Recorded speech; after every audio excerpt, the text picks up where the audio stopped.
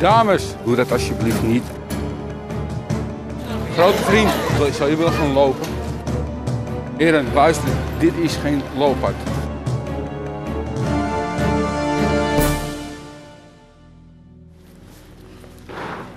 We beginnen met een, eh, s morgens met, uh, met, een, soort briefing van de uh, veiligheidsmanager. Nou, we krijgen gewoon te horen van wat er speelt in de gemeente. Wat er